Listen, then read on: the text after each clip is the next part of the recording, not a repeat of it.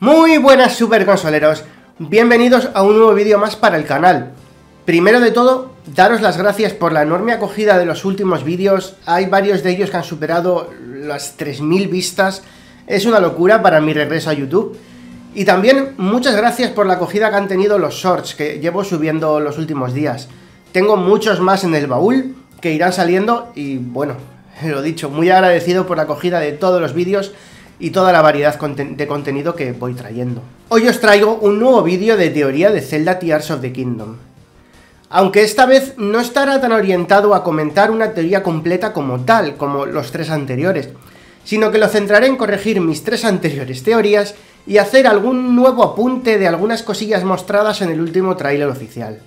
Y comentaros por dónde creo que van a ir los tiros de dichas escenas, personajes o lo que sea. Así que, sin más dilación, pasemos al vídeo.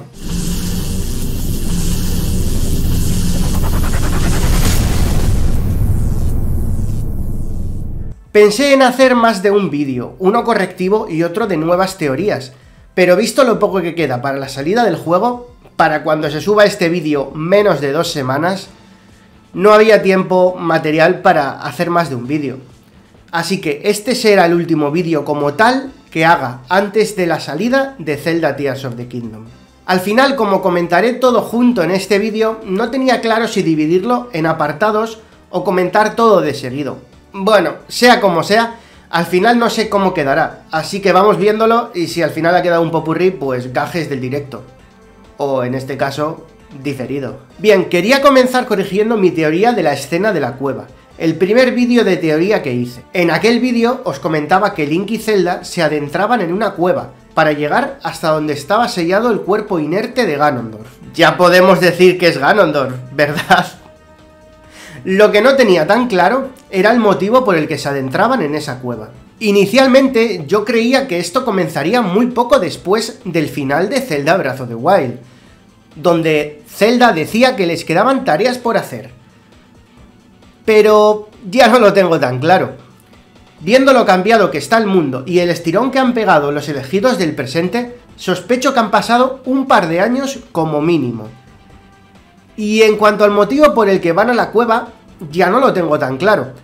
Sigo pensando que la familia real de Irule conoce el paradero del cuerpo, o que Zelda lo lee en alguno de sus libros. Lo que tengo bastante claro es que ella es la única persona del reino que conoce el lugar donde está sellado el cadáver de Ganondorf. Ahora deberíamos enlazar esta parte con lo que comento en mi vídeo del héroe de hace 10.000 años. Según os comentaba en ese otro vídeo, el cuerpo de la cueva, es decir, Ganondorf, era el héroe del mural de Impa, aquel que luchaba contra Ganon hace 10.000 años. Bueno, héroe o no, esa persona del mural es Ganondorf. Pero, insisto, esto es teoría mía. La verdad, ahora que le hemos visto rehidratado, se parece todavía más al del mural. Mi teoría encaja sin duda, pero hay un importante matiz que hacerle. Según comentaba yo en mi vídeo, Ganondorf no tenía por qué ser malvado hace 10.000 años. Simplemente sería el caballero más poderoso del reino y lucharía codo con codo con la princesa de aquella época para derrotar a Ganon y lo sellaron en una prisión. Esto es lo que nos cuenta Impa cuando nos narra la escena del mural. Pero... Ahora os voy a volar la cabeza. ¿Y si Impa no nos está contando lo que sucedió en realidad? No de forma intencionada, sino por desconocimiento. ¿Y si Impa simplemente nos está narrando un cuento infantil, una forma de maquillar la auténtica historia para que ésta tenga un final feliz y pueda ser narrada en forma de cuento de generación en generación. Sí, Impa fue una importante guerrera del reino, pero hace 100 años. Hace 10.000 no había ni nacido ni Zelda ni tampoco el rey. Ahora os voy a contar en detalle lo que yo creo que pasó y el porqué de esa modificación de la historia. El mural tiene una parte de verdad, y es que Ganondorf el personaje de la parte derecha, luchó por defender el reino del asedio de Ganon. ¿Quién es la figura de la otra parte, de la parte izquierda? Pues bien, en mi vídeo del héroe de hace 10.000 años, comentaba que sería una antepasada de Zelda. Pero ahora creo que se trata de este nuevo personaje que hemos visto en el último tráiler. Y sí, personalmente creo que es la diosa Ilia, aunque eso está aún por confirmar. Bien, continuemos con los hechos de hace 10.000 años. Según mi teoría, Ganondorf luchó contra Ganon, y eso nos narra Impa en el mural. Pero todo lo de después se omite. Y yo creo que aquí es donde empezarían a venir los acontecimientos trágicos. ¿De verdad creíais que Ganondorf era realmente bueno? ¿Que no tendría malas intenciones? Pues os equivocáis. Ayudar a la familia real de Irule sería parte de su malvado plan. ¿Recordáis Zelda Ocarina of Time? Ganondorf se gana la simpatía del rey de Irule con engaños. No creo que los hechos de hace 10.000 años fuesen en ese sentido, pero tampoco distaron mucho. Personalmente, veo dos escenarios posibles tras la derrota de Ganon. En el primero de ellos, Ganondorf absorbería por voluntad propia toda la malicia de Ganon para volverse aún más poderoso y a la familia real de Irule no le quedaría otra que sellarlo con ese sello Zonan en la cueva. Este desenlace sería similar al que cuento en el vídeo del héroe de hace 10.000 años, pero cambiando la intencionalidad, ya que en aquel vídeo contaba que fue una decisión unánime lo de sellar a Ganon en el cuerpo de Ganondorf, y ahora creo que se trataría de una decisión unilateral de Ganondorf para hacerse con el control del reino. La otra posibilidad quitaría a Ganon de la ecuación y simplemente, sin Ganon en escena, Ganondorf traicionaría a la familia real de Irule y trataría de hacerse con el control del reino. En esta tesitura decidirían sellarlo en la cueva. Como veis, son dos escenarios posibles y muy similares para terminar encontrando a Ganondorf en esa cueva en Zelda Tears of the Kingdom. Pero aún quedan más interrogantes. Esta figura del tráiler más reciente, ¿de quién creéis que se trata? ¿Del Heraldo de la Muerte, el jefe final de Zelda Skyward Sword? ¿O de Ganondorf? Yo, personalmente, creo que se trata del Heraldo de la Muerte, ya que el pelo es bastante diferente al de Ganondorf, aunque las ropas sean muy similares. Y aquí viene mi evolución de la teoría del héroe de hace 10.000 años la teoría del objetivo de Ganondorf. Si recordamos la batalla final de Zelda Skyward Sword, al vencer Link al Heraldo de la Muerte, o demais en otros idiomas, no acaba con él, sino que lo sella dentro de la espada maestra. Sí, han pasado muchos años, líneas temporales y juegos desde Zelda Skyward Sword. La cronología entera sin ir más lejos para llegar hasta donde nos encontramos ahora, con Zelda Tears of the Kingdom. Sí, pero en ninguno había terminado la espada tan destruida como en este. ¿Vais viendo ya por dónde voy? Voy a poneros una escena para daros más pistas.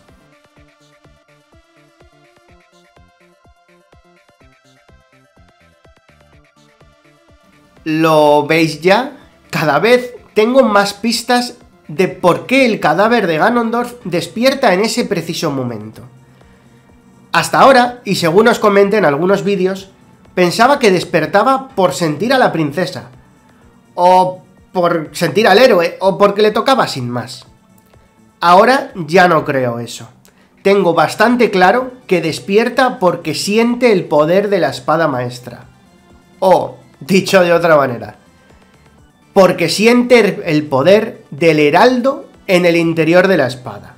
Si recordamos las escenas de anteriores trailers o teasers, Sí, se veía a Link protegerse con la espada ante la malicia y dejarla en el suelo destruida para lanzarse a rescatar a Zelda. Pero en el tráiler más reciente la escena es mucho más reveladora. Se ve claramente a la malicia que sale del cadáver de Ganondorf formar una especie de lengua y tratar de arrebatar la espada a Link. Ganondorf no quiere a la princesa, ni tampoco quiere al héroe, quiere la espada. ¿Para qué la quiere? Para destruirla y liberar el poder del heraldo. Vale, no es del todo seguro que esa figura pueda ser el heraldo. La figura del tráiler me refiero. Pero que Ganondorf busca el poder del heraldo lo tengo bastante claro. Quizás también fuese esa su intención hace 10.000 años, cuando no lo logró y fue sellado.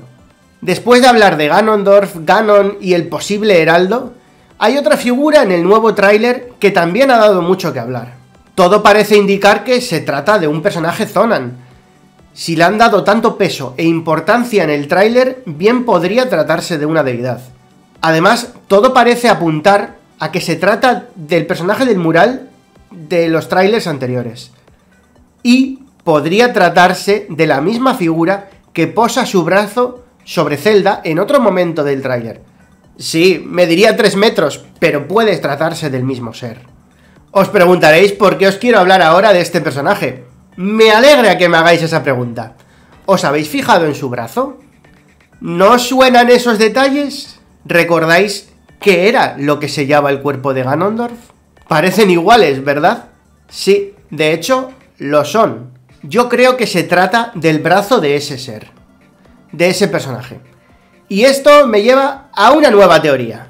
Ya os comenté en otro de los vídeos de teoría que probablemente la familia real de Irule hubiera sellado el cuerpo de Ganondorf con tecnología Zonan. Pues bien, no iba muy desencaminado en aquel supuesto. Sí, lo selló con tecnología Zonan, pero el asunto va más allá. Lo sellaron con la ayuda de este ser, de esta deidad. Lo que creo ahora es que esta deidad se convirtió en el sello en sí mismo. Es decir, que el brazo ese que sella a Ganondorf es este ser. Sí, seguramente haciendo uso de la magia, este ser posó su brazo sobre el traidor Gerudo e introdujo su alma en él para potenciarlo. Bastante ha durado, de hecho, 10.000 años, casi nada. Pero claro, ahora si recordamos la escena de la cueva y recordamos qué es lo que dice Zelda al caer, te lo ruego, préstale tu poder. ¿Ahora lo entendemos mejor? Sí, como dije en aquel momento, se lo está diciendo al sello. Y ahora se entiende mejor, ¿verdad? Al sello, es decir, a la deidad, al alma dentro del sello. Ese sello se acopla a Link y le otorga todos los poderes. Aquí voy a hacer un breve inciso. Como ya comenté en el vídeo de la escena de la cueva, este brazo será quien logrará sacar a Link de esa cueva que comienza a venirse abajo al despertar Ganondorf.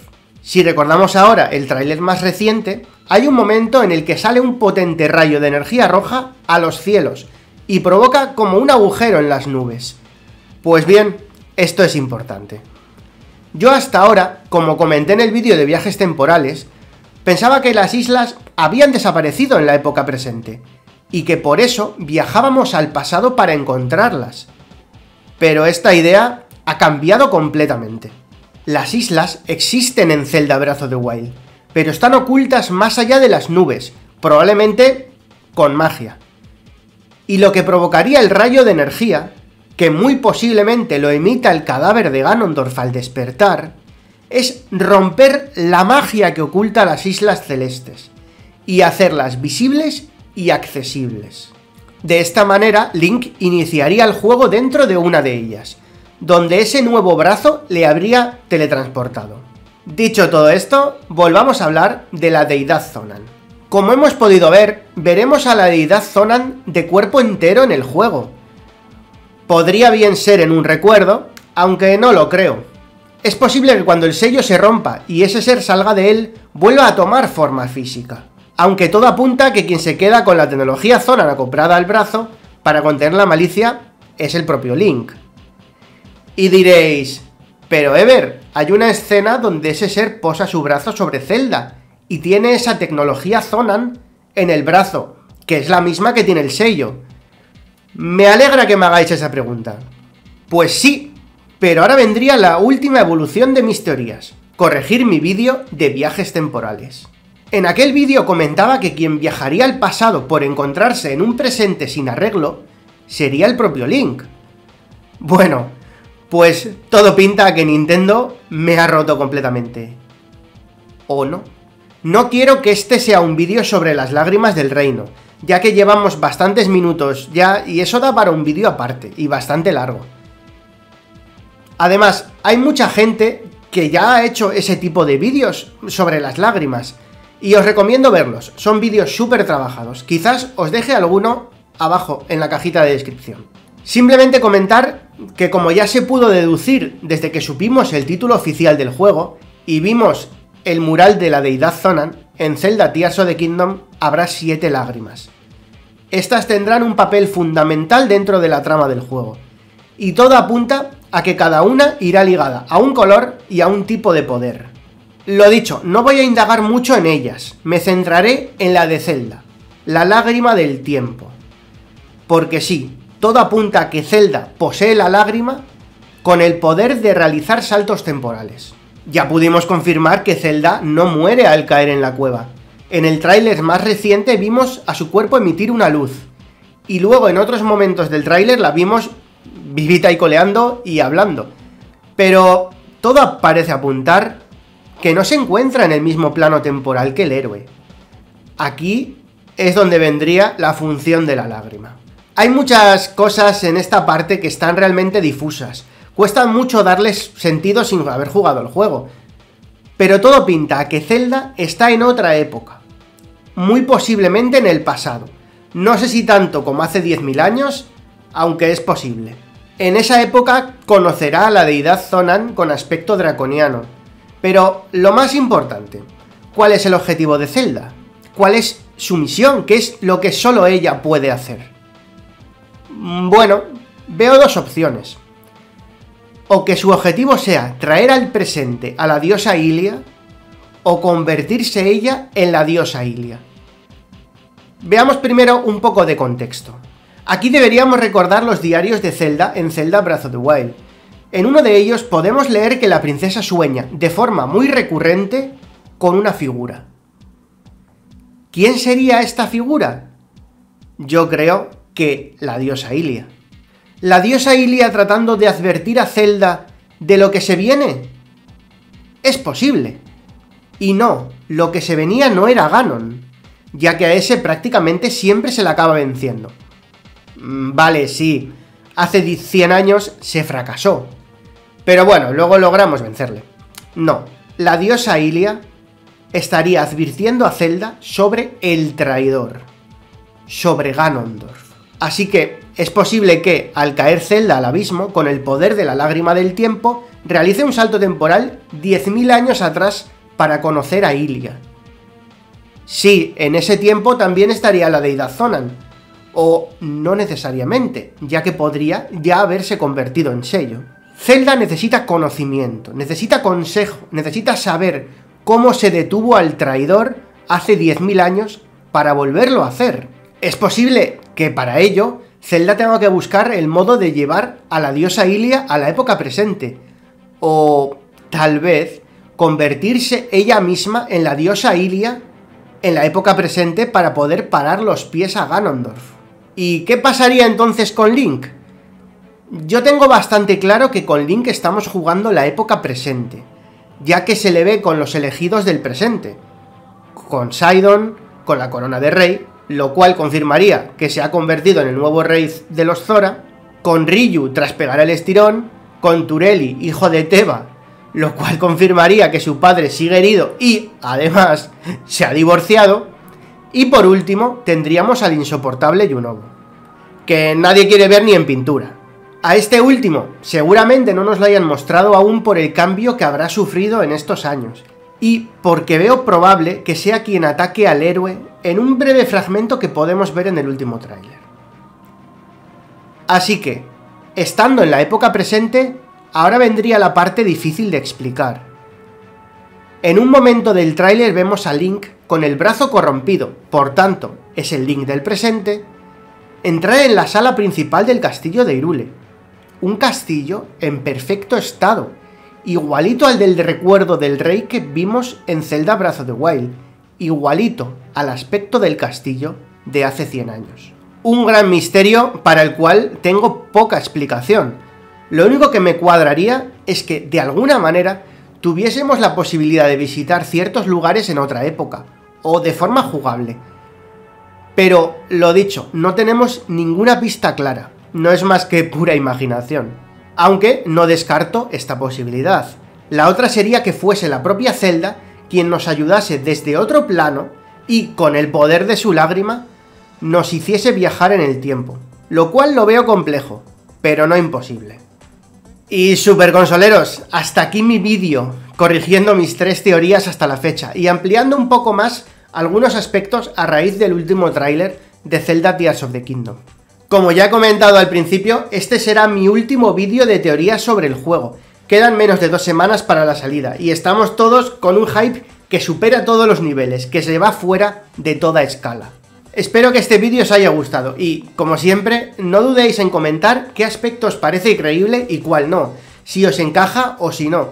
Lo dicho, todo esto es pura teoría mía. Hasta que no tengamos el juego en nuestras manos, no podremos decidir si hemos acertado o no. Personalmente hacer estas teorías me ayuda a sobrellevar el hype. Entre todos podemos hacernos más amena la espera. Y os pido por favor que evitéis todo spoiler sobre el libro de arte, gameplays o el juego jugado por métodos ilegales. Y sed respetuosos en los comentarios. Por mi parte, nada más. Gracias por verme una vez más y nos vemos en el próximo vídeo. ¡Chao!